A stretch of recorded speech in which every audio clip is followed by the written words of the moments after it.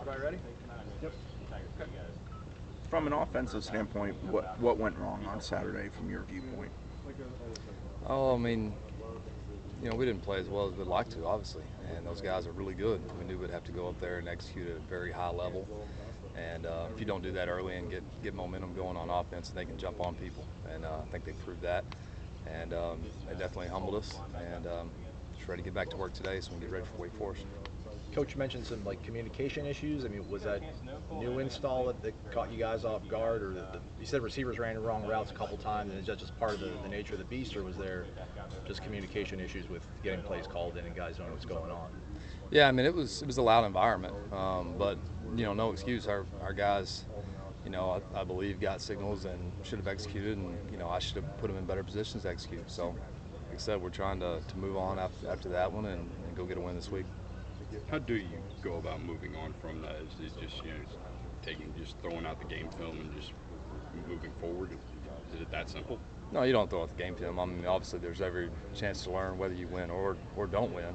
Uh, there's always a chance to learn. So you know, you correct the things that you want to get corrected, but just move on from it as quick as possible. And the best thing you can do is get on the grass, and that's that's the day to get back out here with the guys, sweat, work, and um, and have a new vision down in front of us and uh, get ready to go win. Was, was there a structured? Oh, go ahead.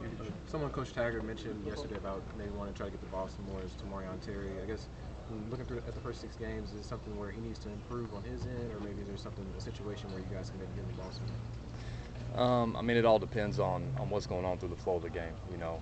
Um, so yeah, I mean, he's he's one of our best players, and he makes sure that he touches the football. How did uh, Cole and Juwan look? I know it was limited reps, but how did they look in those in those limited reps? Um, you know, Cole played okay. You know, he, um, you know, was hadn't played a ton of snaps this year, right. obviously. So um, his his stamina is probably not where it needs to be. But hey, we weren't on the on the field long enough for it to really, you know, catch up to him either. So um, this will be another great week for him to work and, and get dialed into what Coach Clemens is teaching. Moving forward, can those guys be like not only part of the rotation but starting again by the by this week or next week or this month? Yeah, I mean that's going to be up to them and the way that they practice and how we feel about them and the game plan. But absolutely, they have the ability. Yeah. Was there a structured plan for the way you guys use the quarterbacks, or was it just a feel series of series kind of decision? It was more of a feel series of series deal. Did one play better than the other? I know the numbers weren't great for either, but did you feel like one played better than the other? Uh, I, I, thought both guys were inconsistent, and um, that's you know they graded out that way as well. So, um, you know, and, and Clemson's defense can do that to, to an offense and a quarterback. So, um, you know, it wasn't wasn't all on just the quarterbacks. It was on us as a coaching staff and the players. So, got to make sure we correct those things. Get ready this week. Does James need to do a better job of handling the emotions in the moment, especially when things aren't going well? Um, you know, James is an emotional guy. You know, you're going to get what you see. Um, so, you know, his passion and energy. You know, I love that he's he's passionate about the game. Um, he needs to make sure he does it in a positive way. I don't think that he ever did it in a negative way. I mean, it was a frustrating game. I mean, you can't be out there and be smiling and be happy about what's what's going on. So um, I understand that he's a competitor and he wants to win. So I appreciate it. The play that he missed to Akers down the sideline was that improvised or was that the actual play, like a wheel route with him rolling to the right? No, he improvised. Cam went out, turned the corner, and um, you know James. That's a throw he's he's hit all his life. You know he's got to make that kind of play you're, you're, coordinating the offense, you're, you're calling plays, you're the quarterback's coach too. I mean, when you don't know, I guess from series to series who the guy's going to be, I mean, does that pose a different challenge than knowing who the guy's going to be series to series? Uh, there's a lot of challenges involved with football, you know. So that's not that's not one challenge that's going to hold us back. There's there's a lot of things that are involved. So, um, no, I mean it's my job to, to move the offense and whichever quarterback's in there to, to get it done. Do you like you know, rotating quarterbacks? Does it bring anything extra to the table? I like being production productive on offense. You know, so I don't care what kind of rotation is, as long as we're productive on offense. Um, so we'll we'll continue to do what we need to do to make sure that we get that way.